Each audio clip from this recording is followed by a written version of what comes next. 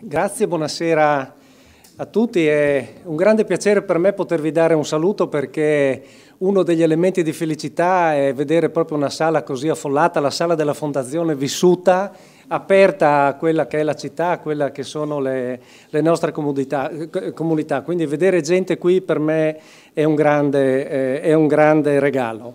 Eh, in apertura dei lavori, eh, visto che siamo in un periodo augurale, vorrei fare anch'io il mio augurio al cantiere Friuli e mi rivolgo all'impresario del cantiere e, mi auguro che questo cantiere arrivi al tetto al più presto, non solo perché noi siamo appassionati dei Likov, che è una delle cose più belle che eh, nella tradizione friulana si possono fare, ma soprattutto perché, eh, caro impresario, c'è la necessità eh, di poter contare su una visione complessiva della nostra regione, eh, una visione che vada, e anche autorevole perché guida l'università, che ci dia un indirizzo preciso verso la strada che, che ci conduce verso la soluzione del problema più grande che abbiamo, che è il problema sociale, che è quello della generazione di valore. Noi dobbiamo riprendere a generare valore in modo soddisfacente per riuscire ad avere quella serenità sociale che tutti si meritano, ma soprattutto la possibilità di programmare il futuro. Allora io condivido in pieno e mi piace molto l'approccio rigorosamente scientifico che è stato dato a un tema tanto affascinante quanto delicato che è quella dell'identità, eh, dell del Friuli. Chiaro è che l'identità friulana va assolutamente declinata in un contesto complessivo, e qual è il contesto complessivo? Dobbiamo prendere atto che la competizione è, si svolge a livello territoriale. Cioè noi dobbiamo dare competitività ai nostri territori, dobbiamo rendere i nostri territori attrattivi. Perché vi dico questo? Io entrando in sala adesso ho ricevuto, ho letto una, una delle tante agenzie che escono in questa agenzia parla il presidente della più grande banca cinese e quel presidente dice che tutto il sistema bancario cinese si sta adoperando per riuscire a mettere a frutto la grande richiesta credito, di credito che si sta sviluppando lungo la via della seta. Questa generazione di credito sarà soddisfatta dalle banche eh, cinesi, che hanno già aperto filiali in tutti i paesi interessati eh, dal percorso perché quei paesi, secondo la visione della banca, del sistema bancario cinese, avranno bisogno di nuove infrastrutture, avranno bisogno di nuove ferrovie, avranno bisogno di e-commerce, e-commerce transfrontalieri. Sono investimenti che hanno già iniziato a fare nei primi dieci mesi di questo anno qui, del 2017. In dieci mesi sapete quando hanno investito loro? Quasi 11 miliardi e mezzo. Ma sapete qual è la stima del fabbisogno solo infrastrutturale dei paesi posti lungo la via della seta? 10 mila miliardi di dollari. Allora a questo punto noi diciamo, beh, in quanti anni? In cinque anni. In cinque anni, 10 mila miliardi di dollari. Allora perché dico che ci vuole una corretta declinazione di quella che è l'identità friulana, affinché l'identità friulana sia motivo di competitività e di attrattività del nostro Paese, perché i tempi sono quelli. Il mondo è ormai un gran premio che viaggia a velocità stratosferiche, noi da friulani non possiamo permetterci e non ce lo meritiamo di guardarlo dai box. Grazie e buon lavoro a tutti. Bravo Presidente per aver introdotto un elemento che ha a che fare col Friuli, anche se sembra lontanissimo, che è la Cina. Perché dove finisce la via della seta? Dove finisce? Finisce in un porto del quale è difficile parlare in Friuli, anche se è il porto col quale molte delle nostre imprese lavorano, tanto da considerarsi retroporto di quel porto, che sta in una città che per molti di noi è innominabile. Quindi se siamo ridotti ancora a questo, è un po' difficile aprirsi al mondo, finiamo per guardarci un po' troppo l'ombelico e qui l'assist è facile per il rettore, il magnifico rettore della nostra bella università. Prego. Allora, bentrovati a tutti, grazie dell'ospitalità con la Fondazione Friuli con cui abbiamo di fatto una partnership da molti anni. Io credo che per stare nella metafora del Gran Premio abbiamo bisogno di piloti, abbiamo bisogno, abbiamo bisogno di meccanici, abbiamo bisogno eh, di investitori e quindi abbiamo bisogno di tante cose. Il cantiere Friuli in effetti è il tentativo di creare un contesto di confronto su varie tematiche, quella di oggi è una delle più delicate, il tema istituzionale che è collegato appunto al tema eh, del rapporto diciamo, anche con l'area giuliana, però voglio dire che l'università hanno fatto la loro parte, abbiamo creato una eh, federazione, eh, siamo stati in Cina ad esempio recentemente e siamo andati eh, a nome di tre gli Atenei, quindi noi ci stiamo già muovendo eh, in ambito eh, internazionale come un sistema regionale. Io ehm, credo che eh, per entrare nel tema eh, dell'autonomia vi dico solo questo.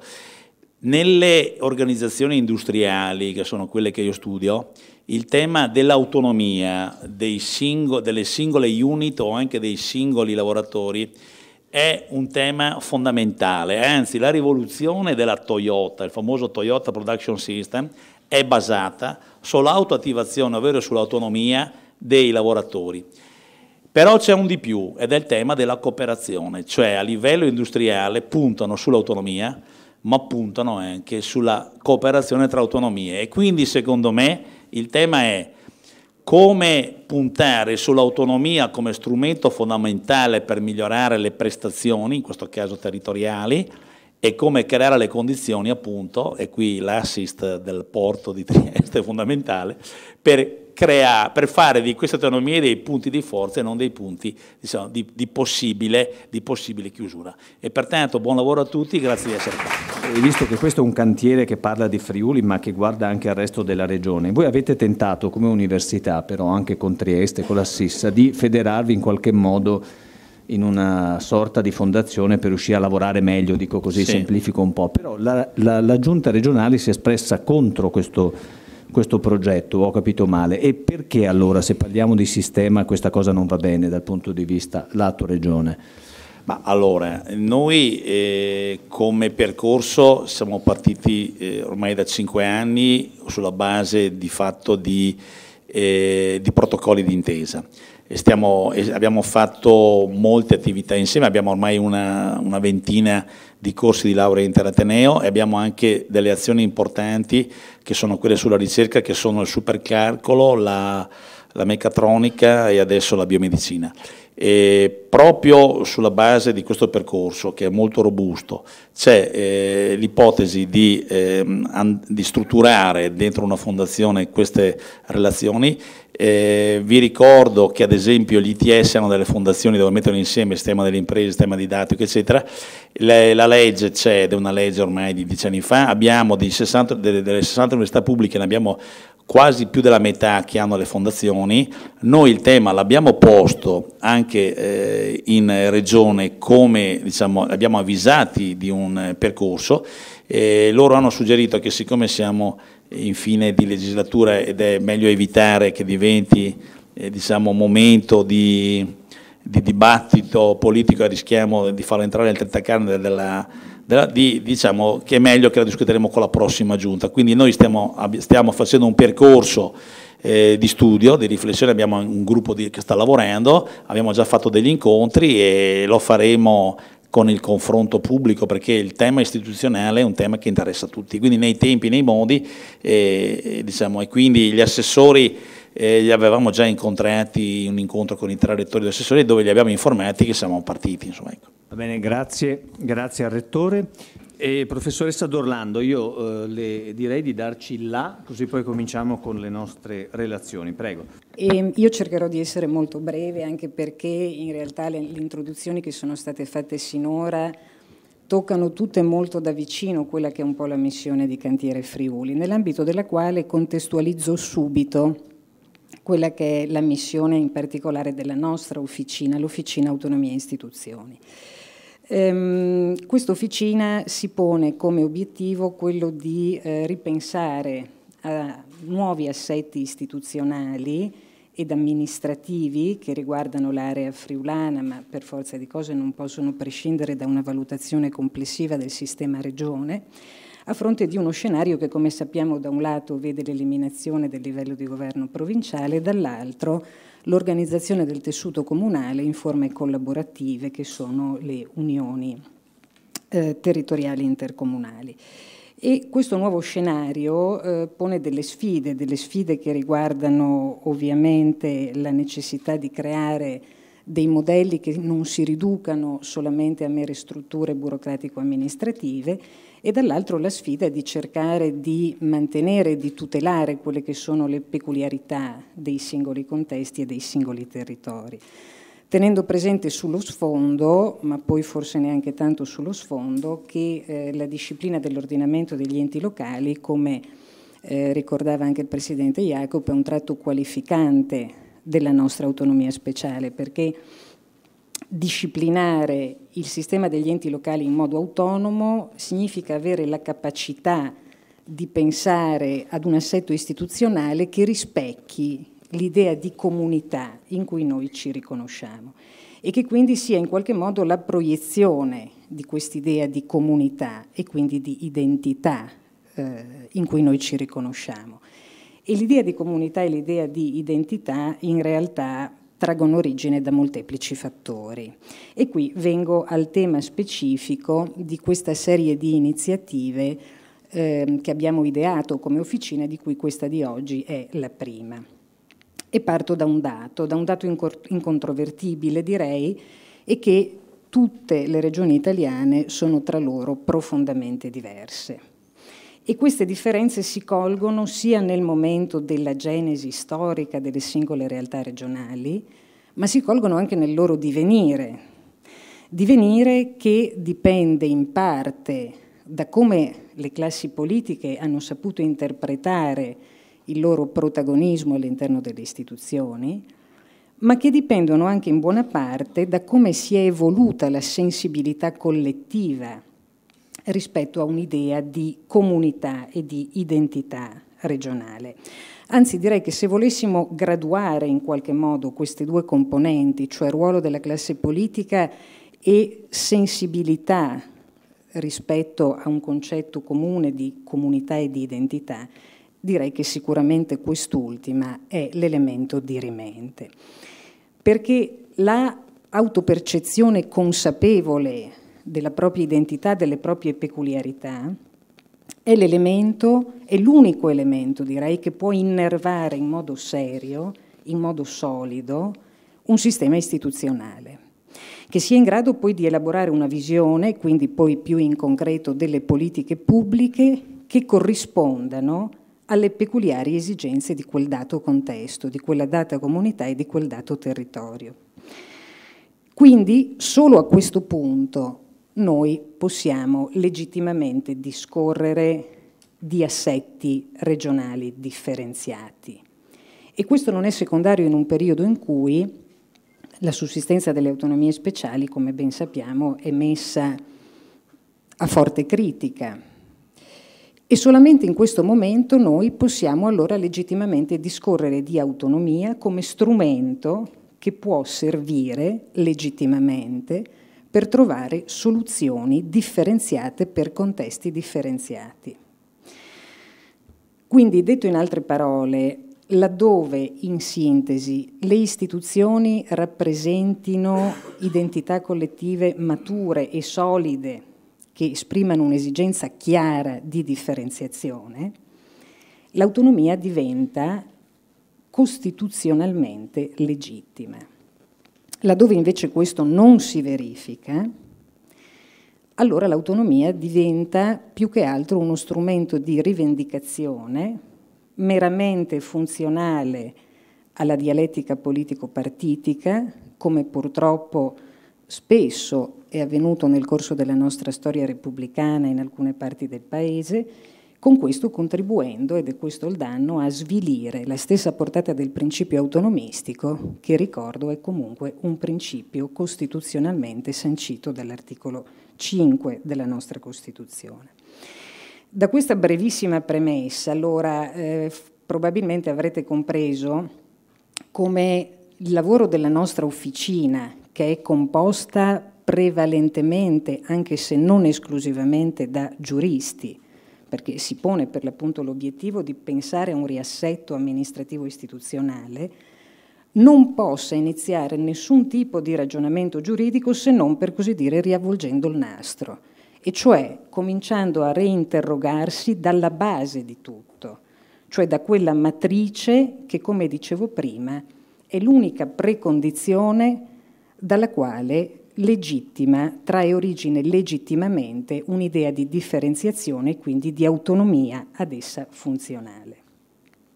E allora qual è, stata, mh, mm, qual è stato il modus operandi che abbiamo scelto? Eh, di fronte a un tema così delicato, eh, innanzitutto abbiamo avvertito la necessità di eh, coinvolgere in questa nostra riflessione colleghi che eh, hanno avuto modo di confrontarsi con esso da prospettive scientifiche diverse dalla nostra. E come abbiamo fatto in buona sostanza a selezionare queste discipline? Beh, da giuristi abbiamo fatto riferimento ad una fonte normativa che per noi è di particolare importanza. Ed è l'unica fonte normativa, tra l'altro di epoca pre-repubblicana, che ci dice in concreto, cioè declina concretamente quali sono state le ragioni che in sede costituente hanno condotto al riconoscimento di un'autonomia speciale ad alcune parti del Paese. E faccio riferimento in particolare a quel decreto legislativo luogotenenziale del 1945 che ha istituito l'ordinamento autonomo della Valle d'Aosta e che fa riferimento più specificamente a quelle condizioni del tutto particolari geografico-territoriali geopolitiche, storiche, antropologico-culturali, etnico-linguistiche, economiche e di sviluppo. Quindi, andando un po' a razionalizzare questo, questo elenco, abbiamo deciso che il primo incontro di oggi si baserà sul confronto tra tre discipline fondamentali, pesanti, per definire il concetto di identità, che sono la storia, la geografia, la lingua e la cultura. Ci sarà poi un secondo seminario in cui si confronteranno altre discipline, che saranno l'economia, che più volte è stata già citata da chi mi ha preceduto, che saranno l'antropologia e che saranno ovviamente il diritto. Però il diritto, diciamo, in ultima posizione, paradossalmente, lo dico da giurista, proprio perché il nostro output, se vogliamo pensare a degli assetti istituzionali che poi siano in grado di interpretare realmente le esigenze di un contesto e quindi di favorirne uno sviluppo strategico, non potrà che basarsi sull'apporto delle altre discipline. Io qui mi fermerei e ringrazio ancora tutti i colleghi e i gentili ospiti che hanno voluto condividere questa iniziativa. Grazie.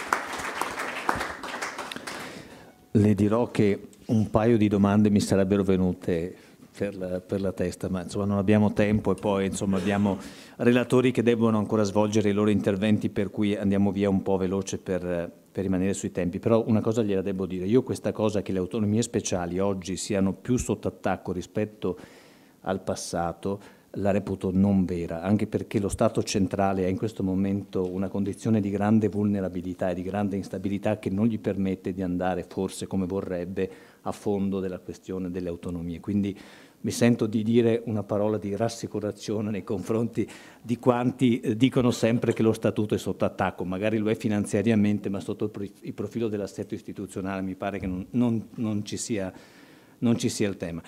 No, lo dico perché è una questione che, che mi viene riproposta spesso nei, nei dibattiti. Allora, c'è una scaletta rigidissima con una serie di temi già stabiliti dalla professoressa D'Orlando, quindi io mi attengo a quella. Cominciamo con la storia e do subito la parola al professor Cesare Scalon.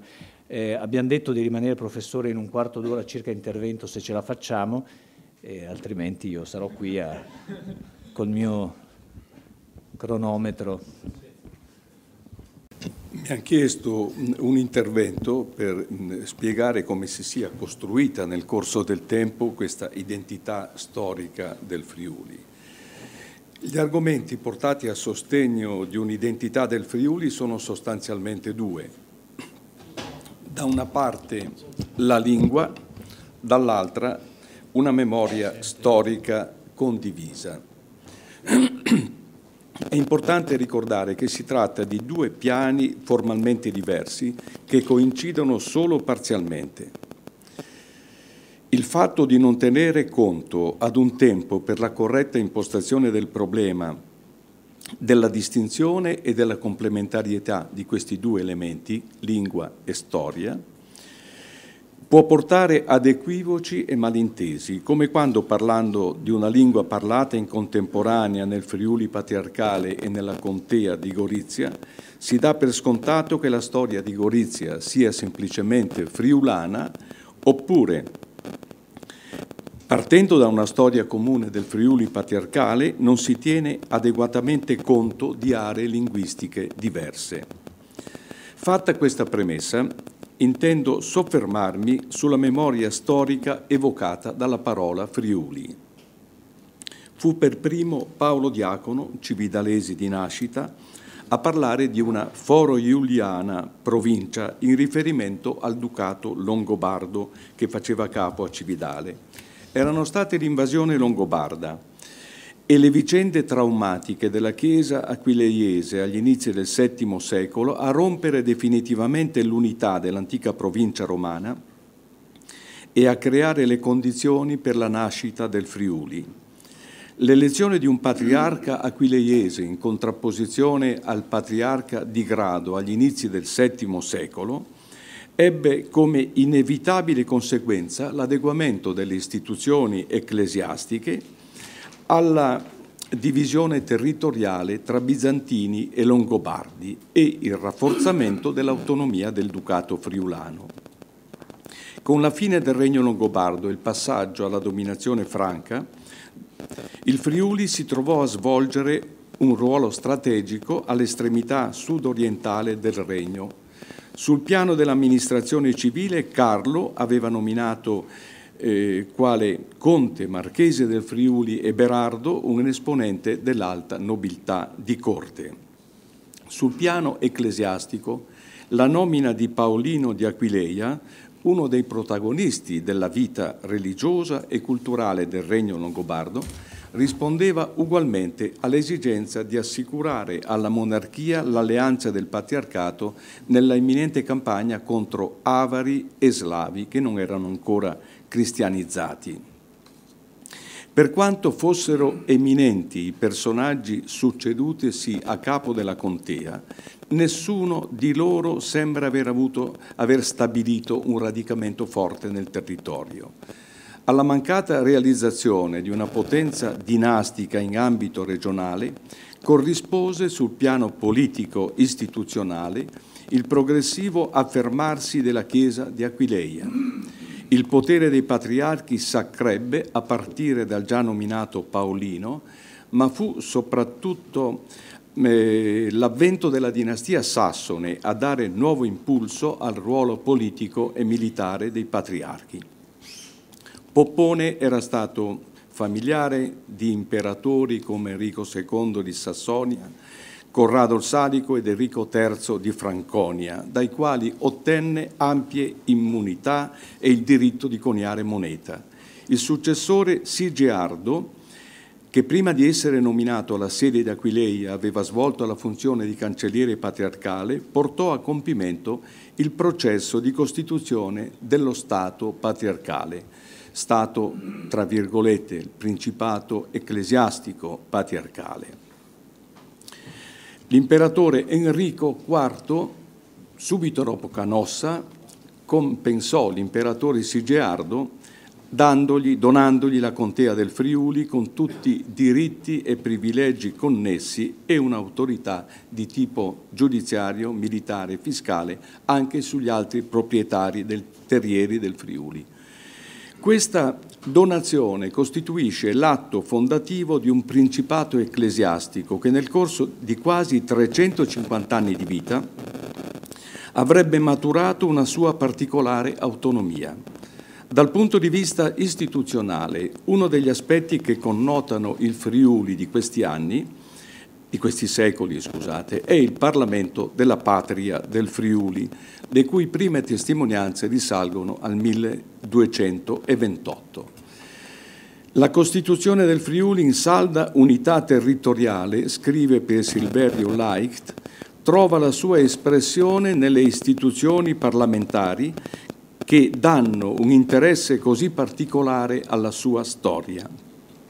Il Parlamento sorge in Friuli, come nelle Marche, in Piemonte, in Sicilia e molte altre regioni francesi e tedesche Dovunque poterono costituirsi dei vasti territori dipendenti da un principe, se non che l'Assemblea friulana ha poteri ancora più estesi da altri parlamenti provinciali. Si incontrano in esse le antichissime riunioni provinciali, giudiziarie, militari e per la tutela della pace pubblica e per le norme relative a cui i dignitari della contea prendevano parte dall'età più remota. Perciò il Parlamento è il principale maggiore tribunale d'appello e l'assemblea legislativa. Vi si tratta di pace e di guerra ed un po' alla volta diviene anche supremo tribunale amministrativo. Dal Parlamento riunito a Sacile nel 1366 uscirono le Costituzioni della patria del Friuli, una fonte del diritto consuetudinario che continuò ad essere usata lungo tutta l'età veneziana. Allo Stato veneziano posero fine le truppe eh, venete nel 1426 giugno, quando entrarono a Udine. Lasciamo stare le mm, cause, le motivazioni di questa mm, fine dello Stato patriarcale Ricordo solo eh, che eh, posero fine alla parola patria, che aveva patria del Friuli, che eh, aveva assunto dei connotati ben precisi. Quando i giuristi, i cancellieri usano questa parola patria del Friuli, hanno un riferimento molto ben preciso al decretum di Graziano, al corpus iuris giustinianeo, cioè non è una parola di retaggio romantico la parola patria, ma una parola che ha un significato giuridico molto preciso. Con la conquista veneziana si apriva per il Friuli una nuova epoca che sarebbe durata fino alla caduta della Repubblica nel 1797. La storiografia contemporanea ha espresso su questo periodo valutazioni contrastanti che vanno dalle posizioni filo-veneziane di Pier Silverio Lait, Carlo Guido Mor, Giuseppe Francescato e altri, ai giudizi critici, talvolta privi di sfumature, di Giuseppe Marchetti e Pietro Londero. Per Amelio Tagliaferri, che si colloca nella scia del Leicht, Accanto ai molti demeriti, Venezia poté attribuirsi il merito di aver perlomeno preservato al Friuli la sua individualità etnica e culturale, possiamo aggiungere anche amministrativa. C'è da aggiungere che l'occupazione veneziana dello Stato patriarcale non aveva compromesso né la giurisdizione ecclesiastica del patriarcato di Aquileia che durò fino al 1751, né l'autonomia della polit eh, politica della contea di Gorizia, che estendeva la sua giurisdizione secolare sul Friuli orientale. Merito principale della storiografia friulana ottocentesca fu soprattutto quello di aver salvato dalla dispersione e riordinato una massa notevole di documenti che sarebbero serviti agli storici del secolo successivo per tracciare un profilo ampio e articolato della storia del Friuli. E fu proprio nel secolo XIX che andò maturando la coscienza storiografica dell'identità storico-territoriale e culturale friulana. Indipendentemente dai giudizi delle singole tesi, le coordinate storiche e geografiche furono per tutti quelle della patria friulana, alla quale sia gli studiosi di orientamento filo-asburgico, sia quelli di orientamento nazionale filo-italiano, i liberali, riconobbero una sua specifica identità. Due soli esempi. Il 16 gennaio 1853, presentando all'Accademia delle Scienze di Vienna una sua relazione sul Friuli, Iber über Friaul, seine Geschichte, Sprache, Altertümer, quindi eh, storia, lingua e antichità, Karl von Zernig lamentava la poca attenzione che la scienza storica e glottologica del tempo, almeno nel contesto dell'impero, riservava alla vicenda plurisecolare del Friuli. Fu lui a chiedere all'Accademia di Vienna, tra l'altro, il sostegno finanziario per il dizionario di Jacopo Pirona, il dizionario friulano di lingua friulana, e ad appoggiare l'ambizioso progetto di scrivere la storia di Aquileia e quella dell'intero Friuli. Sul fronte opposto, Pacifico Valussi, uno dei protagonisti del risorgimento italiano, dedicò al Friuli un volume pubblicato a Milano nel 1865, dove era esule, il Friuli, studi e reminiscenze. La lotta politica per l'unità del Friuli dal Livenza al Timavo era certamente finalizzata anche per il Valussi al conseguimento dell'unità nazionale. Ciò tuttavia non rendeva meno convinta la richiesta che eh, il Friuli partecipasse a questo processo con piena dignità e nel pieno riconoscimento della sua specifica identità, che significa, due punti, la storia stessa, la quale ci parla di Ducato, Marca, Patriarcato, Patria del Friuli, mostra evidentemente che l'unità politica di questa italica provincia aveva contribuito sempre a costituirne la individualità politica.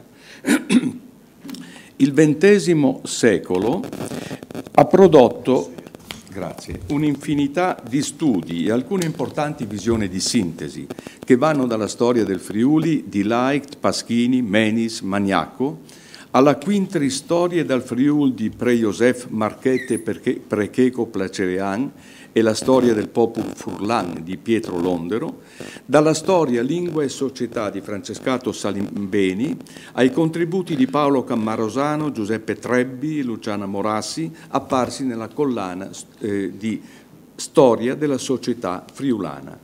Si tratta di ricostruzioni di spessore diverso che allargano e approfondiscono i punti di vista talora in polemica tra loro per tutti rimane comunque il riferimento al mito di Aquileia e alla vicenda del patriarcato. La storia che essi ricostruiscono ha sempre come protagonista il Friuli, una regione, per usare le parole di Francescato e Salimbeni, intesa come comprensorio geografico e culturale costruitosi nel tempo attraverso alterne vicende. Se qualcuno avesse dei dubbi, avesse dei dubbi sulla consistenza di un filone identitario che percorre in profondità tutta la storia del Friuli fino ai nostri giorni, può riprendere in mano l'articolo 26 della legge 546 del 77 che istituisce l'Università di Udine. Affidandole tra l'altro il compito di contribuire al progresso civile, sociale e alla rinascita economica del Friuli e di diventare organico strumento di sviluppo e rinnovamento dei filoni originali della cultura, della lingua, delle tradizioni e della storia del Friuli. Queste brevi riflessioni, presentate nel corso di un seminario che ha per tema l'identità, autorizzano a sollevare almeno due questioni. La prima riguarda la stessa università che ha promosso l'incontro di oggi. Io resto convinto che l'apporto dato fino ad ora dall'Ateneo udinese nel campo della cultura, della lingua, delle tradizioni e della storia del Friuli presenti un saldo positivo.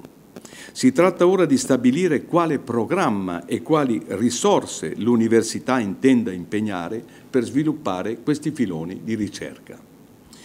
La seconda questione, esposta in termini sufficientemente chiari da Gianfranco Ellero, eh, nella prefazione a quel bellissimo volume sulla patria del Friuli, era il catalogo di una mostra di alcuni anni fa, rinvia direttamente ai politici per chiedere se il problema sia degno di considerazione, almeno sotto il profilo amministrativo.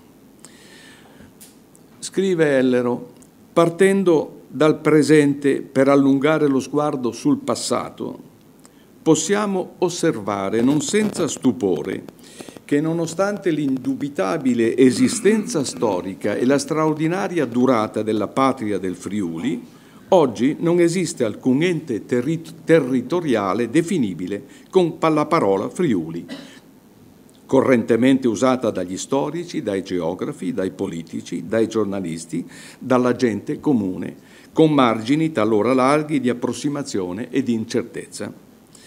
Se i discorsi di oggi non sono puramente accademici, dal punto di vista storico, ma intendono avviare un dibattito, potremmo riprendere anche questo argomento.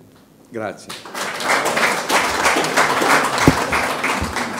Andiamo al professor Pascolini e continuiamo col figlio ideale di questa, di questa, conversazione. Scusi, però una cosa gliela devo chiedere. Lei non si è espresso sul giudizio del periodo veneziano, ha citato le due scuole di pensiero, ma non ho capito qual è il suo però rispetto alla dominazione veneziana. Eh, in, proprio in una battuta, scusi che mi accendo qua, in una battuta veloce, sia gentile.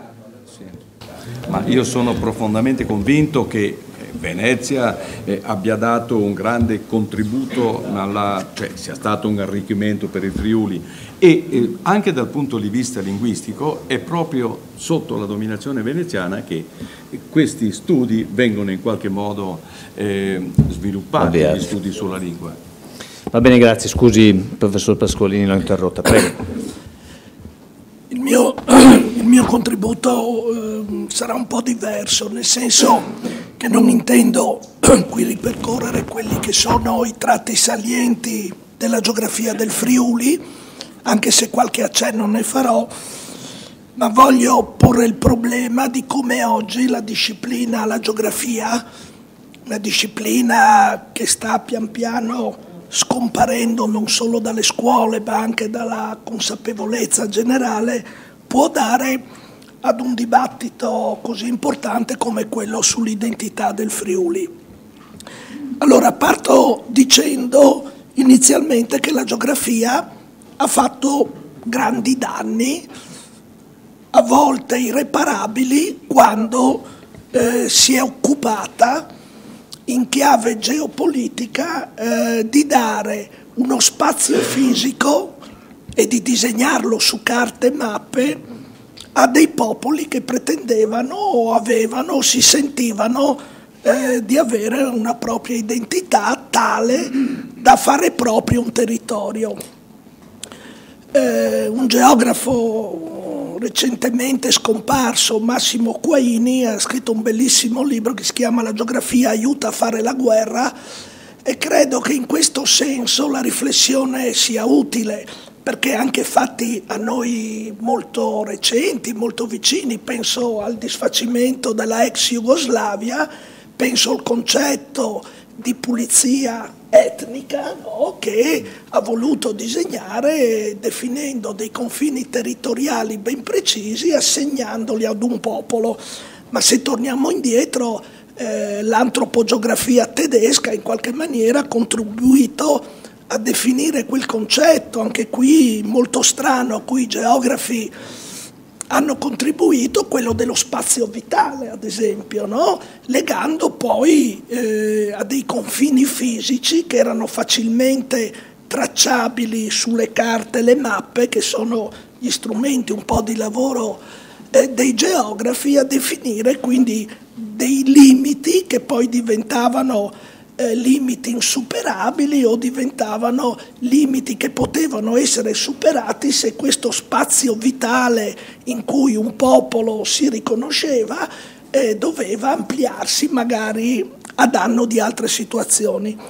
Eh, quindi se la geografia ha fatto questo, i geografi forse hanno fatto meno danni e hanno a volte contribuito in maniera determinante a far crescere quella che eh, Elena ha chiamato eh, la percezione consapevole. Eh, perché tutto, secondo me, parte fondamentalmente del ruolo dei geografi e della geografia in chiave più moderna, è quella di fornire la conoscenza. Cioè la conoscenza di che cosa? eh, la conoscenza di quello che io chiamo lo spazio geografico e che potremmo chiamare con un termine più pregnante la consapevolezza dei luoghi. E qui eh, mi rifaccio al termine friulano luogo, in furlan luogo si dice look, e look significa casa, significa abitazione, ma significa spazio, addirittura uno spazio che in alcuni casi si dilata a dimensione planetaria. Quindi la conoscenza dei luoghi è stato un contributo, se in chiave storica. Penso alla scuola eh, dei geografi friulani che va dai Marinelli ai Musoni a Gortani, eccetera, attraverso quell'opera imponente, soprattutto per l'area pedemontana e montana, che è stata la guida del Friuli, redatta tra la fine dell'Ottocento e del 1900, gli inizi del Novecento, è stato un momento di grande conoscenza, di grande consapevolezza.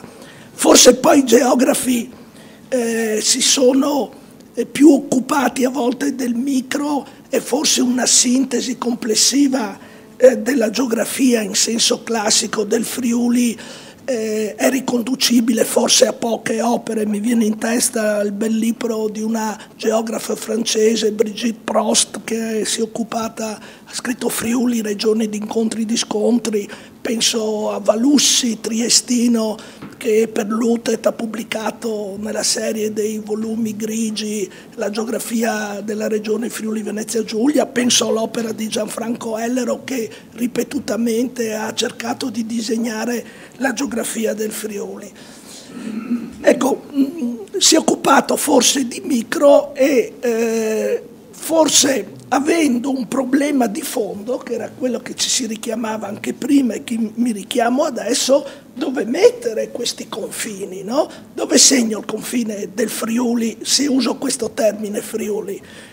Allora una volta era più facile, le carte dal 500 fino al rilevamento topografico del 1860 post erano molto generali, scrivevano villaggi, scrivevano qui, qui la pianura, i confini mettevano dei fiumi che erano indicativi, però voglio dire, quel confine è stato messo, a volte il confine comprendeva, se si parlava di patriarcato di Aquileia, non solo Sappada, che adesso dovremmo ma pensate c'è lavoro dei geografi come torne fas tutte le chiarti lavorò no, di Sappada ma comprendeva anche il Tolminotto, Caporetto dove poi Cividale aveva un ruolo molto importante eccetera, la Valle dell'Isonzo e poi eh, Napoleone quando ha ridisegnato no, la struttura amministrativa ha pensato bene di fare quell'ansa no, portando via quel confine così che immaginiamo dall'Ivenza all'Isonzo no, che doveva più o meno indicare questi confini geografici del Friuli, del Friuli storico. Poi eh, eh come lo definiamo? No? Allora voglio dire, se andiamo sul confine orientale, quel confine si è spostato e si è dilatato, basta pensare agli ultimi cento anni quante volte e quindi veramente credo che il mettere confini, no? quando si parla eh, di questi temi e dire poi che chi abita dentro quei confini deve esprimere una forte identità o un'identità omogenea, crea dei problemi. Allora la geografia oggi ed è questo il mio interesse, che contributi può dare. Innanzitutto eh, cambiando e utilizzando con molta attenzione il termine identità. La prossima volta ci saranno gli antropologi che sono vicini ai geografi che si occupano di queste cose qua. Ma a me piace usare il termine appartenenza. Appartenenza vuol dire il riconoscersi in qualche maniera in un luogo, il riconoscersi individualmente e poi collettivamente in un luogo che esprime delle omogeneità, non tanto eh, nella struttura profonda del territorio, paesaggistici o eccetera, che è un mosaico, ma tanto eh, nell'approccio, nel modo di vivere e soprattutto nella percezione consapevole. Se oggi chiedessi anche ai, a chi è qui presente che cos'è il Friuli geografico, ognuno dei presenti, forse tutti avrebbero una visione un po' diversa nell'immaginario. E allora bisogna costruire su questo. E su questo si può costruire con alcuni strumenti che sono figli un po' della nuova elaborazione dell'approccio geografico che parte da questo senso di appartenenza e di valore dei luoghi, perché se io appartengo a un luogo, quel luogo assume valore, quel valore diventa un patrimonio e come tutti i patrimoni la comunità deve occuparsene, custodirlo, tutelarlo, valorizzarlo, trasmetterlo anche in forma ereditaria. E c'è tutto un grande lavoro attraverso strumenti che si chiamano mappe di comunità, che si chiamano carte dei valori e che disegnano una geografia del Friuli che va al di là della geografia classica, che, che va dai Mons fino al Mar o il piccolo compendio dell'universo, perché i valori delle comunità mettono insieme la storia del passato, per cui eh, c'è tutto un significato poi no, di emblemi di questo paesaggio che è un elemento importante dell'espressione, del vestito dei luoghi, penso ai gelsi che legano Venezia, ma non solo, tutte le innovazioni che sono state poi attraverso le trasformazioni fondiarie e così via, ma segnano anche tutta una serie di piccoli elementi che costituiscono questo patrimonio che è fatto anche e soprattutto di relazioni. Allora, se lo spazio geografico, inteso così, è anche relazione, è chiaro che io devo allargare il mio orizzonte perché i friulani avevano, io sono di Cividale, li Valadis Naldaldison, avevano confini, avevano le relazioni con quelli che stavano nella valle dell'Isonzo, i goriziani avevano le relazioni di là, quelli di Latisana avevano le relazioni col mandato, quelli della Cania con l'Austria, quindi dobbiamo preoccuparci molto di relazioni, ma creare il valore dei luoghi e creare la, una percezione consapevole vuol dire anche porsi una fondamentale questione che è anche geografica. Come ci poniamo con i nuovi cittadini del Friuli?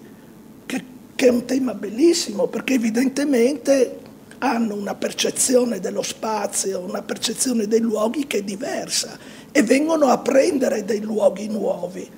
E quindi bisogna costruire queste mappe e soprattutto poi la geografia mette a disposizione un altro grande strumento che è la scala. Per cui io posso vedere e lavorare su dimensioni molto piccole, dal quartiere alla piccola frazione, viene, non voglio citare la famosa poesia di Zanier che tutti conosciamo, a scale di dimensioni più ampie. E quindi il Friuli comincia a costruirsi come un mosaico, come tante tessere, molto ricche, variegate, che però riconducono tutti ad un senso di conoscenza e di appartenenza dei luoghi.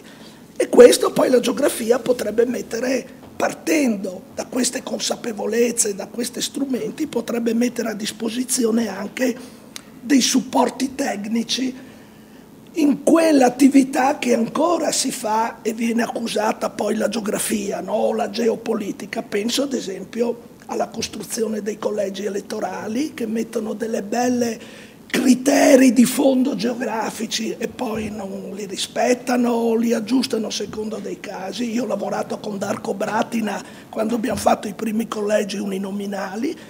Penso, e qui le cito, alle UTI che sono state costruite tenendo forse poco conto delle, di, di questo processo di riconoscimento individuale che forse avrebbe facilitato alcune aggregazioni, penso alla riorganizzazione generale anche delle regioni in Italia. Per cui io dico, la geografia, se in passato ha fatto tanti disastri, adesso i geografi con questi nuovi approcci possono costruire un Friuli fatto da tante piccole cellule che però poi possono eh, costituire un, organ, un unico organismo che attraverso le relazioni può mettere insieme situazioni diverse. Questo nello spazio geografico. Senta Pascolini, Pascolini però mi definisca un confine a est e a ovest, dovendo oggi facciamo finta che non c'è la regione a statuto speciale, non c'è lo Stato, non c'è la nazione. Oggi che cos'è? Qual è il perimetro? Diciamo che a nord e a sud è relativamente facile perché abbiamo il mare e le montagne.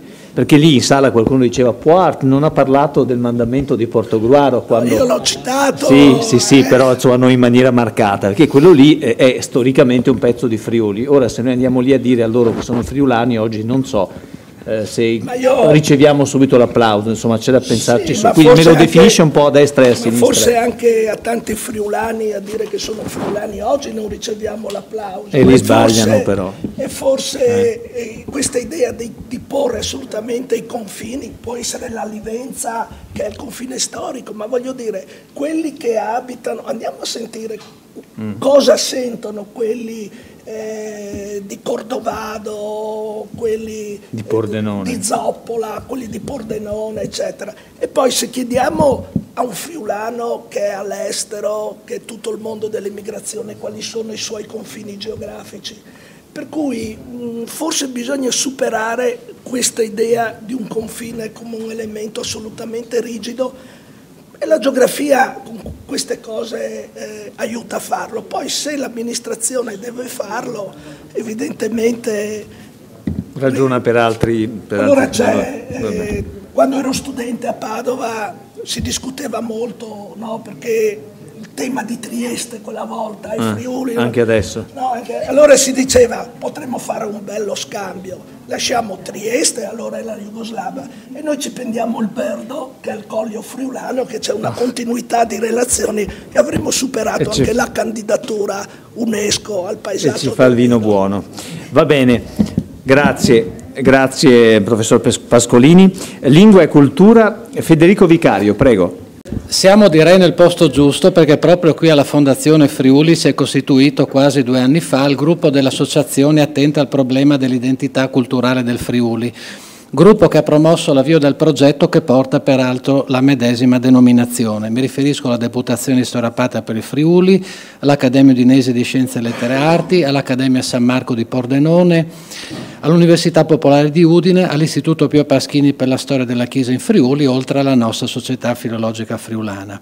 Siamo quindi nel posto giusto per discutere la questione che mi pare tutto il vasto e polifonico programma del cantiere Friuli ha messo al centro del suo percorso e della sua riflessione, questione alla quale esso vuole evidentemente dare risposta, la questione friulana. A me tocca stasera proporre qualche considerazione sulla parte culturale e linguistica della questione, dopo aver ascoltato i punti di vista, piuttosto solidi e concreti, offerti dalle discipline che si occupano di storia e di territorio. Il punto di vista della storia e della geografia parte dall'espressione e dalla misurazione di ambiti cronologici, di fatti che si registrano nelle cronache, di biografie che si intrecciano, di confini che si mettono e che si tolgono è una prospettiva che procede con la descrizione della realtà e dell'entità del Friuli, nella sua pluralità e nel suo divenire. Il punto di vista della cultura in generale pare fin da subito riferirsi a qualcosa di meno tangibile, di più immateriale, forse per la sua natura. Immateriale come una delle categorie che utilizziamo appunto per la catalogazione dei beni culturali, dove sono sensazioni, emozioni, passioni, impressioni e idee a combinare in qualche modo il complesso quadro dell'identità. Una prima riflessione terminologica. Un certo grado di ambiguità propone per cominciare lo stesso sostantivo identità, quantomeno a prima vista. La parola viene dal latino tardo identitas, derivato da idem medesimo, calco del greco taftotis. Il, il, significato della parola riguarda l'essere identico, la perfetta uguaglianza. Per esempio, quando si parla dell'identità di due concetti o ci si riferisce ad un'identità piena e assoluta. In filosofia il principio di identità, o più precisamente il principio di identità e contraddizione, nella tradizione scolastica, asserisce l'identità di una cosa con se stessa, A è A, ed esclude l'identità con altro, A non è non ha. Aristotele nella metafisica scriveva poi che, dicendo che una cosa è identica a se stessa, la si tratta come due, e tanto più se la consideriamo in due momenti successivi, sia pure quanto si voglia vicini nel tempo. L'autoidentità delle cose sarebbe dunque garantita solo dalla totale assenza di trasformazioni e dall'assenza del flusso temporale, ma questo mondo, costituito da Platone, non era il nostro, ma il mondo delle idee. In matematica ancora l'identità è l'uguaglianza valida incondizionatamente, verificata cioè da qualsiasi valore o gruppi di valori delle variabili che in essa compaiono. Si potrebbe continuare a declinare il principio di identità per varie discipline, ma ci basti dire che anche in linguistica l'identità si oppone alla contrarietà, il sinonimo si oppone all'antonimo, la conservazione si oppone all'innovazione, cioè alla variazione. Anche i termini che troviamo nella stessa categoria nozionale, poi, ne dichiarano l'appartenenza alla sfera dell'uguaglianza, della coincidenza, della conformità, dell'equivalenza, dell'uniformità, della corrispondenza. Ma noi, ragionando sull'identità friulana, vogliamo in realtà dire che ragioniamo sulla diversità friulana rispetto ad altre comunità, non sulla sua identità, altrimenti non avremmo nulla da dire, se non che tali comunità sono appunto identiche e le metteremo sempre nel mondo di Platone. In definitiva, un primo problema è semantico, dove dobbiamo specificare che la nostra identità si riconosce almeno a due condizioni o per due sottospecie all'interno di un gruppo ma anche in opposizione ad un altro. Un ulteriore problema ancora è valutare quanto possano essere accettate le differenze all'interno di un gruppo del quale vogliamo definire l'identità, perché se una vera identità tra due cose non può esistere, andremo a parlare piuttosto di un livello di tolleranza della variazione o in qualche modo di una identità larga. Una seconda riflessione va fatta sulla lingua, in quanto codice che permette la comunicazione, lingua che viene solitamente posta al centro tra i valori forti che definiscono un'identità e non sarò certo io a dire che non è così. È una riflessione che parte dall'opera del padre degli studi di glottologia in Italia, il nostro, grazie a Dio, Isaia Ascoli.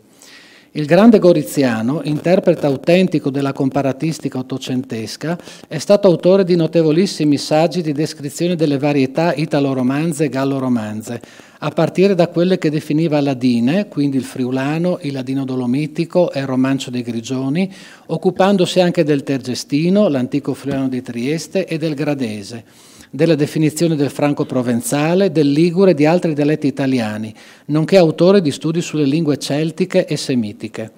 Non dico niente sul fatto ben noto che Ascoli ha proposto una prima descrizione scientifica del friulano, limitatamente alla fonetica, e non insisto sul rilievo che i suoi saggi ladini del 1873 hanno avuto nel dibattito della romanistica tra 8 e 900, aprendo proprio la vexata questione dell'unità ladina.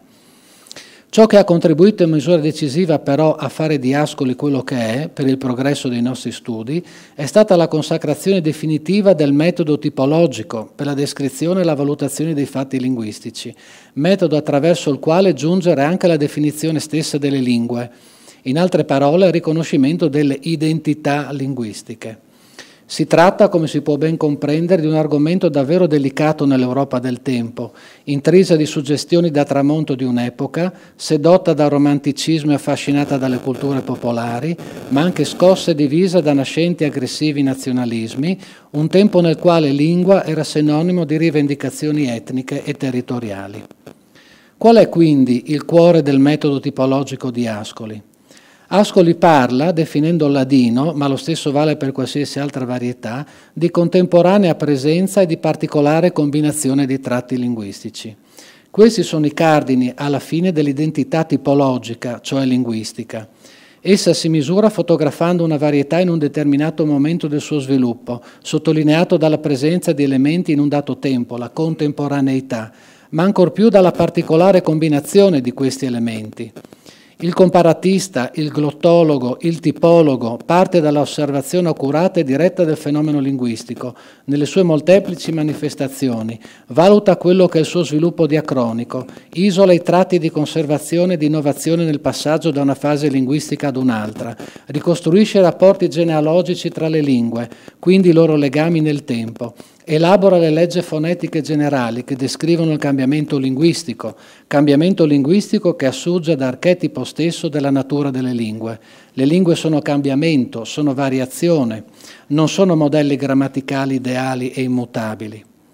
La particolare combinazione di tratti di conservazione e di innovazione è ciò che definisce la diversità delle lingue romanze, figlie del latino, ma non vi sono tratti esclusivi di questa o di quella lingua. Non è una palatalizzazione, un'assimilazione, una ditongazione, una lenizione, un plurale vocalico, un plurale sigmatico a determinare l'identità di una lingua, cioè la possibilità di distinguerla dalle altre, ma la particolare combinazione di tutti questi tratti. Questo ci dice la tipologia linguistica. Il metodo della particolare combinazione, piuttosto che del carattere esclusivo di un determinato tratto, pare essere a me anche il fondamento dell'identità in generale, sia pur essa di un popolo, di una società o piuttosto di un singolo individuo. Noi stessi non presentiamo caratteri esclusivi rispetto al nostro vicino, evidentemente, ma presentiamo caratteri in parte comuni e in parte diversi. Occhi azzurri o nocciola, tondi o a manderla, capelli castani o biondi, tanti o pochi, spalle larghe o strette, gambe lunghe o corte, magrezza o robustezza, carnagione più, più chiara o più olivastra, labbra carnose o sottili. E possiamo continuare, possiamo continuare perché estremamente numerosi sono i caratteri che ci consentono di descrivere la realtà maggiore è la precisione della nostra osservazione, maggiore sarà anche il numero di elementi che riusciamo a distinguere. Nella particolare combinazione di questi elementi troviamo alla fine l'identità di un certo individuo, di una società, di un popolo. Mettere a fuoco questo aspetto del problema è già un primo passo, un buon primo passo. Vuol dire chiarire una preliminare questione di metodo. Anche nella definizione dell'identità friulana, come di quella di qualsiasi altro gruppo, e sempre nella sua doppia declinazione di identità all'interno del gruppo stesso in opposizione a quanto si trova al suo esterno, non possiamo andare alla ricerca di elementi esclusivi, ma piuttosto di un impasto esclusivo, quello sì, di elementi che sono universalmente diffusi. Non ci basta insomma ricorrere al salt honest lavorador, paradigma un po' frusto della friulanità tradizionale, ma dobbiamo quantomeno porre una posizione rispetto alle comunità con termini, comunità che possono condividere un certo numero di tratti con quella friulana, ma che presentano anche una serie di differenze che ci consentono di operare una distinzione tra le stesse. La letteratura sull'identità friulana, e qui verremo al secondo passo, non manca di indicare alcuni caratteri specifici di tale identità. Nel volume Identità friulana, così è e così l'hanno prodotta i miti, i parroci, le elite locali, pubblicato da Paolo Roseano nel 1999 con l'Istituto di Sociologia Internazionale di Gorizia, in una collana peraltro che offre davvero molti titoli di notevole interesse, si offrono interviste ad alcuni protagonisti della vita civile e culturale del tempo, tra i quali Monsignor Alfredo Battisti, Pretoni Belline, Gianfranco Daronco, Carlos Gorlon, Bruno Tellia, Demetrio Volcic. È una ricca rassegna di temi declinati per la definizione della stessa.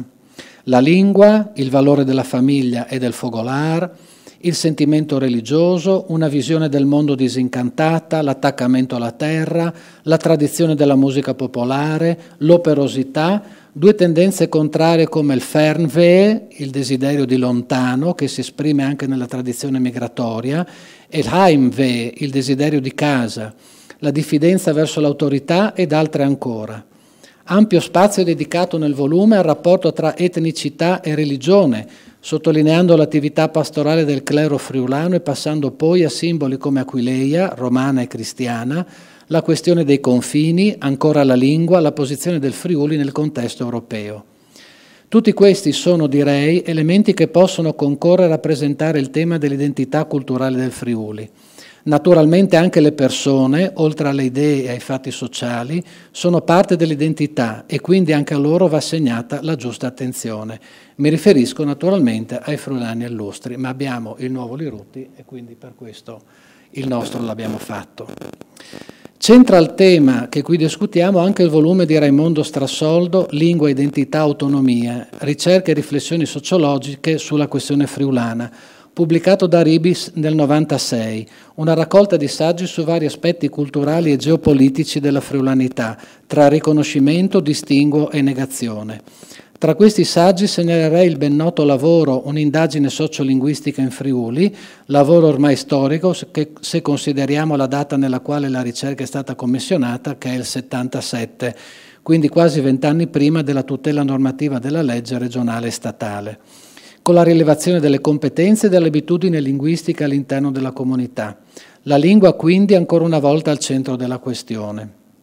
E sulla stessa linea segnalo anche i molti interessanti lavori di Linda Picco, di taglio ancora sociolinguistico, condotti dall'interno del CIRF e pubblicati nelle collane dell'editrice universitaria Forum.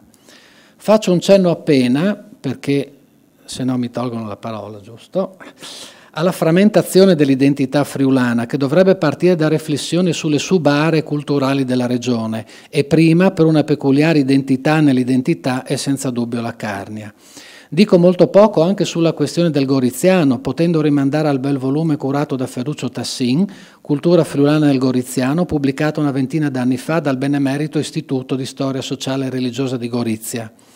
Davvero illuminante nel volume, ad ogni buon conto, l'ampio saggio di Vittorio Peri, note sulla formazione dell'identità culturale friulana, ma anche interessanti tre interventi di Sergio Tavano, Gorizia, Friuli non Friuli, Italo, Santa, Italo Sant'Eusanio, l'idea di Friuli nelle lotte politico-nazionali nel Goriziano e del compianto Celso Macor, friulani di confine. La questione dei legami di Gorizia con il Friuli, quella dell'appartenenza del suo territorio al Friuli in generale più sfumata, non ha mancato di appassionare e di dividere molti studiosi e uomini di cultura, ma anche politici, che a tale argomento si sono dedicati, soprattutto nel secondo dopoguerra. Al centro della discussione si trova quindi la definizione dei caratteri peculiari di Gorizia e del Goriziano, della particolarità della sua storia e della pluralità delle sue tradizioni culturali, del suo distinguersi in quale misura rispetto al resto della regione friulana. Si rileva insomma che L'identità specifica del goriziano è composita, per cui non sarebbe difficile, volendo dimostrare con delle forzature una tesi, isolare e sottolineare solo certe componenti culturali a discapito di altre, dice Sant'Eusanio. Si tratta di un punto di vista senz'altro condivisibile, che fornisce una chiave di lettura dell'identità e della pluralità non solo del goriziano, ma direi un po' di tutto il Friuli. Il Friuli è una terra dalla storia così ricca e complessa e si presenta a tal punto articolato nelle sue componenti che qualsivoglia semplificazione per una qualsiasi delle sue città o delle sue realtà territoriali appare una inaccettabile forzatura. Così anche per Gorizia, forse soprattutto per Gorizia, dove apporti, tradizioni, relazioni e costumi diversi si incontrano e si fondono in un modo assolutamente originale. Sul versante del Friuli occidentale segnalo appena il volume di Don Luciano Padovese, Itinerario culturale di un territorio, contributi al dibattito sull'identità del Friuli occidentale, pubblicato nel 1989, dove ancora una volta, come si vede, la cultura va a braccetto con l'identità. Chiudo il mio intervento con un auspicio. Anche la questione dell'identità friulana, come ogni altra manifestazione socioculturale, come ogni altro fenomeno, ha bisogno di verifica, di aggiornamento. E il momento della verifica e dell'aggiornamento ci pare sia arrivato se sono reali segnali che provengono dalla nostra società, segnali che chiamano alla coesione, alla solidarietà, alla trasmissione dei valori, al riconoscimento e al dibattito sull'identità anche nella prospettiva più politica, che l'Istituto Regione deve fare, dove pare che i buoni diritti della minoranza nascondano o mettano in secondo piano i diritti non meno buoni della maggioranza. Le iniziative sull'identità sembrano ora, diciamo così, spontanee, istintive, di reazione quasi, rispetto ad un problema percepito che è quello della perdita di questa identità. Molto opportuno sarebbe poter proseguire questa riflessione sull'identità friulana con la forza che ci dà il nostro Ateneo, il luogo deputato a ragionare per il presente e a sognare per il futuro. Se ciò sarà, se ne avremo la possibilità, penso che avremo risposto positivamente anche alla più volte richiamata missione istitutiva dell'Università Friulana. Grazie. Allora, no, noi qua dovremmo, eh, ci è stato assegnato, vi è stato assegnato un tema, buonasera, buonasera, è arrivato, dialogo fra identità vissute, che è una cosa complicatissima, io non, non, non so bene da, da, cosa partire, visto insomma è un tema talmente largo, però io vi chiederei, vi chiederei mh, eh, una, una cortesia, se rispetto alle cose che avete sentito c'è qualcosa che vi ha che vi ha colpito particolarmente, qualcosa su cui volete intervenire. A me pare però che un tratto comune sia stato, anche se eh, in chiusura di intervento, ma forse è normale perché siamo qua, stiamo dentro un cantiere dell'università, c'è stato questo appello più volte ripreso sul ruolo dell'università, che è una cosa alla quale magari noi, noi che stiamo fuori dell'università, cioè dico, penso per me che non insegno all'università, pensiamo, pensiamo, poco. Eh, quanto sia un carattere identitario anche la nostra università. Quindi io, se, se a voi va bene, comincerei da questo, però naturalmente tutte le suggestioni che vorrete praticare eh, noi le riceveremo. Poi se ce la facciamo, se c'è qualche minuto, magari chiediamo al pubblico se vuol porre qualche questione, qualche domanda. Stiamo abbastanza nei tempi, siamo dire, un po' stretti ma dovremmo farci. A chi comincia? Il professor Ellego che litiga col, col tasto per cui tocca a lui. così, così impara. Beh, intanto buonasera. Poi io da, da Friulano voglio ringraziare il rettore per aver ideato il cantiere, il professor Pascolini, perché mi pare che sia il capofabbro, e poi appunto la professoressa Dorlando che ha allestito questa officina, se non, se non erro. Bene, io vorrei dire questo in breve. Intanto mi trovo perfettamente d'accordo con tutto quello che hanno detto i tre precedenti oratori e ricordo, io non pratico ma mi hanno raccontato, di un giochino che si fa su internet mi pare, sei di Udine se, poi ci sono dei puntini, cioè sei di Udine se conosci chi era Florean e Venturin, faccio per dire sei di appunto Cividale se sai chi è eh, il, il, ponte del diavolo, chi, che cos'è il ponte del diavolo e via discorrendo. Questo per dire che anche a un livello così puramente ludico si sposa luogo e, e, e conoscenza, cioè non c'è appartenenza a un luogo se non c'è conoscenza. Questo l'ho sperimentato più volte anche nella mia vita perché imparando lingue straniere, per esempio, mi sono trovato più a mio agio nei luoghi in cui si parlavano queste lingue, questo è ovvio. Ora, io vorrei partire da quel che disse Pasolini, scrisse anzi Pasolini nel 1947, ultimo quaderno dell'Accademiutta, intitolato Quaderno Romanzo. E lui conclude il suo saggio con le parole. Aveva sentito la notizia che la regione era stata riconosciuta il 27 giugno del 47 e lui scrive il Friuli ora è sul punto di dover scegliere tra l'essere e il dover essere. Neanche il voler essere, il dover essere. Parlando di me, io sono stato costretto quindi a scegliere fra l'essere, sono nato friulano, al mio paese penso che l'italiano fosse lingua estera, eh, non potevo essere altro che friulano, naturalmente. Eh, dopo, per essere friulano cosciente, ho dovuto farmi una cultura. Ed è questo uno dei problemi, secondo me, più difficili, perché diventare, dico friulano, ma posso dire siciliano, sloveno, quello che volete, eh, diventare eh, naturalmente di una entità eh, beh, è abbastanza facile. Voler poi o dover essere di quell'identità, cioè acquisire la coscienza, è molto più difficile e questo è un primo compito che secondo me dobbiamo porci tutti, cioè università, regione, eccetera, perché la diffusione di questa cultura locale non è affatto scontata, non è affatto normale o spontanea.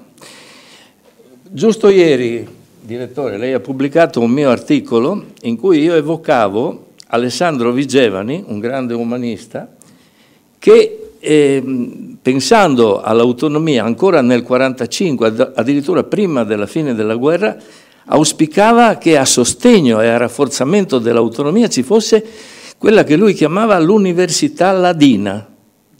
È interessante questo, no? Quindi orientata allo studio di quei valori di cui eh, si è parlato qui questa sera. Questo mi pare, mi pare importante.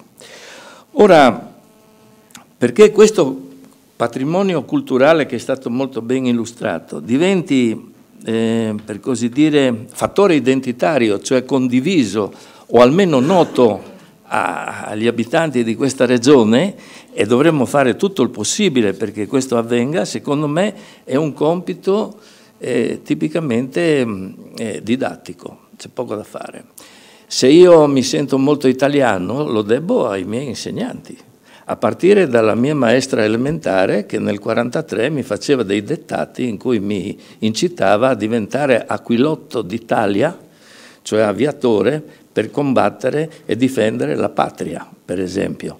No, e, e, quindi penso che se noi non formiamo, non disponiamo di insegnanti che siano capaci di, tras di trasformare o di trasmettere il senso della friulanità nel senso colto di questa sera, noi non raggiungiamo l'obiettivo, cioè diventa un discorso puramente accademico. Questo è il mio modo di vedere. Se noi per esempio eh, consideriamo i friulani eh, antropologicamente, dobbiamo ricordare che proprio i friulani, è un problema questo, che proprio i friulani più colti, sto parlando di Prospero Antonini per capirci, non di contadini del mio paese, proprio i più colti, i laureati, sono stati quelli che sono alla base della perdita di valori di identità del Friuli negli ultimi 150 anni. Faccio due soli esempi. All'Antonini, dell'Antonini bisogna ricordare che propose, ancora prima dell'annessione del Friuli all'Italia, l'italianizzazione di tutti i toponimi friulani. Celebri rimasero Cormonsio e Gonarsio in luogo di Cormons e Gonars. Per fortuna non fu, non fu sì, Talmasson si è salvato e anche Vidulis. Per fortuna non, sì, ecco. E questo non era, voglio dire, non era, attenzione, non era il potere centrale lontano, il decreto reale che imponeva questo. No, no, era un friulano, un friulano. Come quei friulani che si sono opposti allo statuto normale prima, speciale poi nel 1945-47. Non erano napoletani o piemontesi o che, figurarsi, erano di qua. Se voi andate in via Cosattini, la via è intitolata a un politico che il 30 ottobre 1947 Dopo la votazione della decima norma transitoria che paralizza la Regione, la mette in frigo senza scadenza e durò 16 anni, ecco questo signore socialista ringrazia l'Assemblea Costituente per aver rimediato a un grosso errore. L'onorevole Zuccarini disse ma Scusa, ma, ma, ma, ti hanno fatto del male se concedono lo statuto speciale a una regione? Lui ringrazia e non considera quindi il danno immenso che ha fatto, non dico al Friuli, sono d'accordo con Pascolini, dico ai cosiddetti proletari che dovevano essere difesi da lui, perché la provincia di Udine nel decennio dei 50 ha perso 28.000 abitanti e forse con la gestione dei fondi che sarebbero stati dati alla Regione, forse non dico che sarebbero stati cioè, annullati, ma almeno qualcuno di meno, senz'altro. Perché ovviamente questa era regione di confine, non venivano le grandi industrie a investire e naturalmente lo Stato, l'imprenditoria di Stato per analoghe ragioni non investiva o cercava di non investire e però la regione avrebbe potuto investire perché era suo compito. Ecco, se noi vogliamo considerare ancora il bovarismo che è atavico dei friulani e degli udinesi in particolare, ma, ma voi vi rendete conto del, del, dello tsunami toponomastico che ha coperto la città, lasciamo stare poi il resto perché per imitazione c'è via Vittorio Emanuele III a, Basaldella è una strada dove io sarei, andrei solo a dar da mangiare alle galline, ma comunque questo è un altro discorso. Lo tsunami toponomastico della città di Udine Garibaldi, Cavour... L'ha fatto dappertutto però. L'hanno fatto dappertutto, ma noi siamo arrivati, dottore, noi siamo arrivati a intitolare, per esempio, ehm, qualcosa di risorgimentale anche in maniera criptica. Per esempio, io non so se quelli che stanno in Viale 23 marzo sanno che cos'è e che cosa vuol dire 23 marzo. Ecco, è una data risorgimentale. Comunque Garibaldi, Cavour e Mazzini hanno coperto i, la place dei Barnabiz, molto più interessante secondo me di Garibaldi. Poi hanno coperto eh, ov ovviamente il Borg di Santa Lucia, interessantissimo perché Santa Lucia dopodomani porta i doni eh, qua, e, e, hanno coperto la contrada d'Alfen, del Fieno. Oh, qui siamo naturalmente in via Manin, che sarebbe il Borg di San Bartolomeo, e qui siamo in via della prefettura, che sarebbe la contrada dei Force, quindi, dei forni. Quindi hanno distrutto un intero tappeto per dimostrarsi non italiani, perché secondo me si è italiani non in questa maniera, rispettando le leggi, lavorando e pagando le imposte. Questo è il diritto di cittadinanza, secondo me. No, hanno distrutto tutto un patrimonio per dimostrarsi non italiani, più italiani degli altri. E questo è il colmo. Noi veniamo da questo e siamo ancora condizionati da questo. Se voi leggete gli atti parlamentari della, della, e, e le polemiche giornalistiche del 1945-47, vedete addirittura uomini di sinistra del Friuli che lottano contro la regione con argomenti di destra. È una cosa fantastica per non, per non essere considerati meno patrioti di quegli altri. Bene, comunque io volevo quindi lanciare questi appelli. Cerchiamo di, se è possibile, di passare a un, una diversa mentalità, di infondere una diversa mentalità attraverso eh, la scolarizzazione, se possibile, e anche il buon esempio. Per esempio, l'altro giorno sono passato per Orgnano e ho visto una tabella, via Carlos Gorlon Oh, finalmente dico, non solo Alessandro Manzoni, ma qualcun altro, eh, tanto per dire, o Giacomo Leopardi, via Carlo Sgorlon, l'ho telefonato alla vedova, era molto contenta. Ora, eh, noi sappiamo che eh, qui questa è un'assemblea nobile di cervelli eh, illustri, pieni di cultura, però non dobbiamo dimenticare che il popolo, come ben sanno quelli che manipolano il popolo, hanno bisogno di simboli, hanno bisogno di slogan, cioè di cose abbastanza... Quindi mi va benissimo che su un certo ambiente ci sia scritto in friulano Università dal Friul. Così almeno si dice, beh, l'università non disdegna proprio la lingua friulana e l'università è importante. Dopo vedremo quanto è dal Friul, ma non importa, intanto si scrive. No?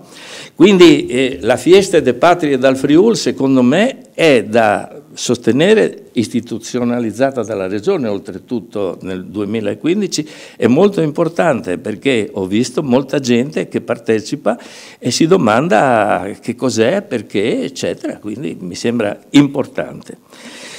Però poi spetta agli enti, agli enti nobili, agli enti importanti come l'università, ma anche come la regione ovviamente, di eh, applicare lo statuto tirandolo al massimo. Che cosa intendo io tirandolo al massimo? Io intendo sfruttando tutte le possibilità giuridiche, giuridiche che lo statuto ci dà. Proprio oggi mi sono riletto l'articolo 4 e ho visto che ci sono molti margini, come si suol dire, di miglioramento. E anche l'articolo 50 è a disposizione se si vuole fare dei programmi extra, extra l'articolo 50 che è stato molto poco usato. E qualcuno potrebbe dire come vai a chiedere soldi extra in questo momento? Beh, se è vero quel che ho letto, che i friulani con quello che hanno pagato e continuano a pagare sulla benzina. Già, hanno già restituito allo Stato il contributo del 1976 per la ricostruzione, quindi eh, stiamo pagando in più, beh, si potrà anche chiedere qualcosa di nuovo per, per quel che mi riguarda. E dopo io direi, potrei dire, mi è venuta un'idea, naturalmente non ho fatto conti sulle difficoltà giuridiche e sui costi, ma la passo a una giurista. Noi abbiamo, dobbiamo fare in modo di essere veramente speciali. Il Friuli è una regione specialissima, è stata una grande cosa quella di aver ottenuto la specialità che va difesa e applicata a ogni costo secondo me, ma accentuando le differenze, cioè quelle che ci rendono speciali. Noi siamo meno qualche comune del Vicentino che, che, sappia io e meno la provincia di Trento, siamo l'unica regione in cui sopravvive il catasto tavolare, di cui si sente parlare sempre molto bene. Anche in Veneto. Sì, c'è qualcosa in Veneto, sì. Addirittura ci sono due comuni isolati che devono ricorrere a Trento saltando altri comuni per questioni catastali. Comunque, eh, io, mi, io ho, ho, constatato che ci sono delle UTI, tanto per dire, UTI, quella di Aquileia e Palmanova, in cui ci sono metà comuni che hanno il sistema tavolare e metà che hanno il sistema, chiamiamolo italiano, ordinario, eccetera. Allora, uno dei, de, degli obiettivi potrebbe essere, per esempio, quello di estendere il sistema tavolare a, a, tutta la regione, perché tutti dicono che il sistema tavolare è molto più vantaggioso da vari punti di vista eh, del sistema eh, tradizionale. Queste sono le mie considerazioni. Io direi che eh, quindi eh, dobbiamo cercare di essere non solo consci ma anche ehm, attenti all'autonomia. E io magari sognando faccio questo auspicio, che l'università sia il centro di produzione di progetti, di idee agganciate all'autonomia e che la Regione naturalmente sia il luogo in cui questi progetti, ritenuti politicamente validi, trovino la normativa e l'attuazione. Grazie. Grazie. Senta professore, una cosa velocissima, domanda rapida, risposta rapida. Questa questione dell'italianizzazione, per così dire, eh, fa parte anche di un certo periodo storico. Eh, il mio giornale nasce nel 1946 e si chiama Veneto per le stesse ragioni perché era un, eh, un, tentativo di assimilazione del fronte orientale all'Italia per evitare che andasse verso il confine jugoslavo. Eh, la domanda che volevo farle però è questo, eh, ci sono dei, dei, dei cicli eh, anche linguistici e culturali, quindi in un certo momento storico i friulani hanno voluto sembrare più italiani che friulani. Le volevo chiedere, adesso, in questa fase storica, lei ha la percezione che le nuove generazioni siano interessate a recuperare il tratto della loro friulanità, perché noi possiamo anche insegnare eh, il friulano alle scuole elementari, cosa che peraltro si fa poco e malamente, malamente in senso come quantità, però eh, bisogna vedere se la percezione della società va in quella direzione lì, cioè se si sta ricreando un interesse verso la propria dimensione culturale, linguistica, territoriale oppure no. Se no noi possiamo anche insegnare il friulano, ma se i ragazzi non lo vogliono parlare, praticare, è una battaglia persa. Che opinione ha rispetto a questa sensibilità? Le chiedo una, domanda, una risposta telegrafica, se possibile. Posso dire che sono pessimista? Basta così? No, forse, forse più realista che... Beh, in generale, c'è, un, c'è uno scollamento generale in Europa. Io frequento casualmente molte regioni, diverse regioni di confine e quindi conosco, per esempio, gli sloveni mi dicono che i giovani non vogliono più usare il caso duale nei verbi. Gli anziani dicono, ma eh, se tu usi il duale si capisce se stai raccontando qualcosa che è accaduto tra te e un'altra persona, cioè in due, oppure usi un'altra forma verbale e capisco che, eh beh, dal senso della frase capirai, rispondono i giovani sloveni. Mm. Ecco, ho citato apposta i giovani sloveni, non i, giovani friulani, i giovani friulani, eccetera. ma li vedo, li vedo, scollati non solo dai valori, diciamo così, regionali, ma anche dai valori nazionali ormai, e, cioè sono molto più sospesi nel vuoto, ecco, intendo questo. D'altra parte non è vietato tentare di rimediare il rimediabile. Aggiungo una considerazione, se pensate all'operazione che ha fatto il Veneto senza l'autonomia, con questo Presidente, anche attraverso il referendum, ha invece instillato nella sua comunità un senso di veneticità, per così dire, che era andato, era andato perduto. Era andato perduto pur senza avere l'autonomia. Sono d'accordo, però se io vado a vedere i precedenti, cioè gli ultimi anni della Regione in generale, gli ultimi anni in particolare, vedo che questa friulanità siamo nati, direttore, in cui bisognava essere tutti friulo giuliani. Beh, eh, posso dimostrare tutto quello che dico. E quindi solo il poter dire sono friulano e basta, e non anche giuliano, è stata una conquista in questa regione, ma comunque finiamola qua. Va bene, grazie, grazie professor Ellero. Antonio Baldino, prego. Sì. Buonasera a tutti. Eh, io sono Tonino Baldino, sono di Alghero, eh, sono stato amministratore della mia città eh, per lungo tempo, sono stato sindaco a cavallo degli anni 2000, adesso mi occupo esclusivamente di promozione culturale. Sono presidente del Centro di Studi e Politica Giuseppe Toniolo, appunto di Alghero, che ha un rapporto privilegiato con l'Università Cattolica il nostro obiettivo oh, prioritario è quello di eh, agire per la promozione del territorio facendo tesoro appunto delle peculiarità culturali, economiche, sociali del luogo stesso. Quindi c'è diciamo, un'affinità di temi eh, con quello che stasera stiamo, stiamo appunto um, affrontando. E, ehm, ringrazio dell'invito. Io mm, diciamo mm, pongo già un problema. Noi teniamo all'autonomia, fra l'altro è una, una minoranza linguistica appunto all'interno della della minoranza linguistica della Sardegna. E, ehm, quindi noi abbiamo rapporti con la Catalogna, eh, facciamo... La bandiera mi pare anche, no? Sì, sì, la bandiera è uguale identica a quella della Catalogna, sono le quattro barre. Questo è un distintivo che mi ha regalato il Presidente del Consiglio eh, dell'Assemblea regionale della, della, della Generalitat di Catalogna. Sì. E, ehm, lo porto da quando ero sindaco, quindi stiamo parlando già da un po' di anni. E, ehm, per dire questo comunque che sono testimonianze di esperienze che noi viviamo nella nostra assolutamente modesta comunità, perché Alghero è una città di 44.000 abitanti, a parlare l'algherese è una minoranza, possiamo essere intorno al 15%, insomma, però noi eh, teniamo, teniamo, a che questo valore eh, sopravviva, per cui eh, organizziamo corsi co come associazioni di volontariato, ma anche eh, con collaborazioni eh, attraverso le istituzioni, corsi per la istruzione della lingua algherese nelle scuole, fra i, i ragazzi delle scuole materne, delle scuole elementari.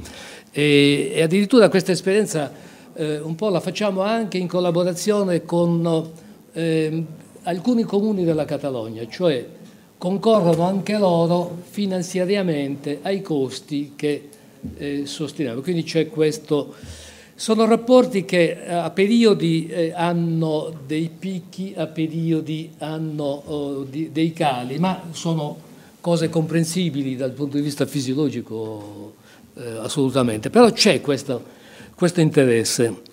Quindi diciamo che tutti noi, anche degli interventi che mi hanno preceduto, teniamo, teniamo a, ad, essere, eh, ad avere il senso dell'autonomia, no?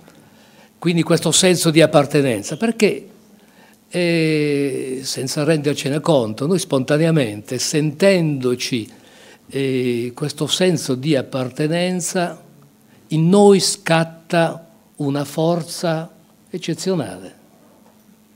Quindi c'è un fatto psicologico, ma è un fatto essenziale però, non è soltanto virtuale.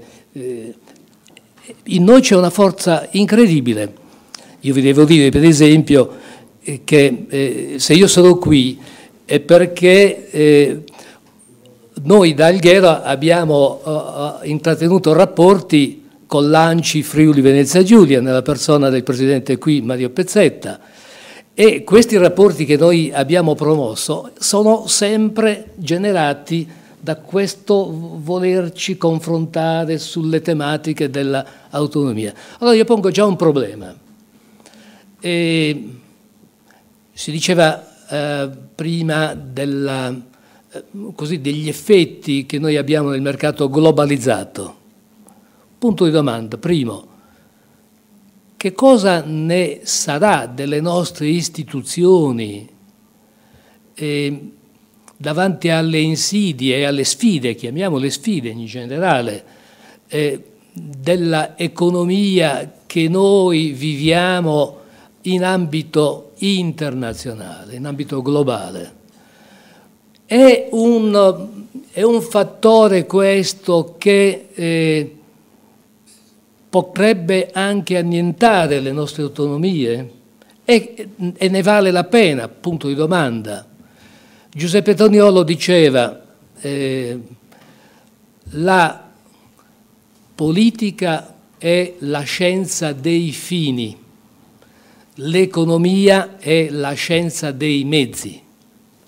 Quindi questa distinzione tra fini e mezzi va oggi mantenuta viva, in piedi, è, importante, anche perché, anche perché se non teniamo chiaro questo concetto, e deve essere un concetto addirittura acquisito nella nostra cultura soggettiva personale, qui noi rischiamo forse che lo stesso valore della democrazia che vogliamo vivere nelle istituzioni venga meno.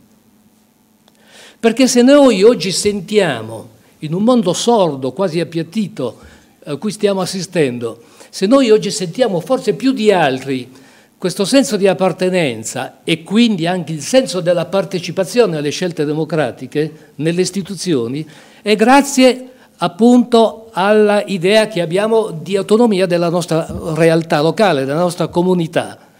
Se ci viene meno, qui c'è il rischio che non saremo noi più i protagonisti del nostro futuro, anche per le nostre comunità locali, per le nostre realtà.